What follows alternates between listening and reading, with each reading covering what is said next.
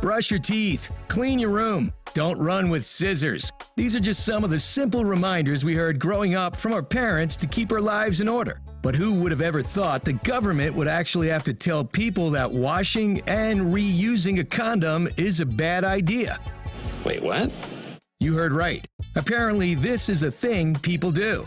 As we know, or should know, condoms can prevent the spread of most sexually transmitted diseases. However, if it's used incorrectly, it's pointless. The Centers for Disease Control took to Twitter in late July posting, We say it because people do it. Don't wash or reuse condoms. Common sense.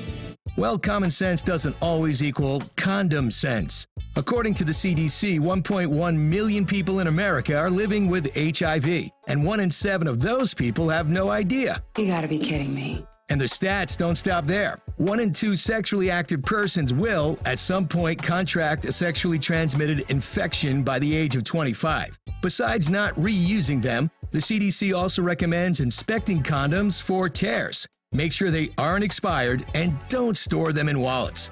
Basically, in the end, when in doubt, throw it away.